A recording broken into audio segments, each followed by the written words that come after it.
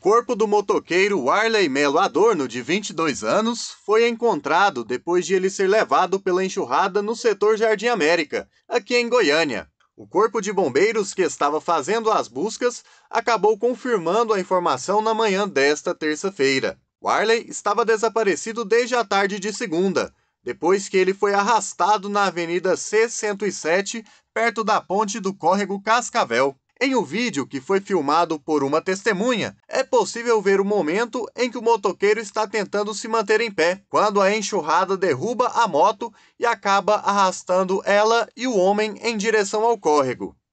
O tenente-coronel do Corpo de Bombeiros, Alessandro Cunha, afirmou que uma equipe com mais de 15 bombeiros atuaram nas buscas, com uso de drones e mergulhadores.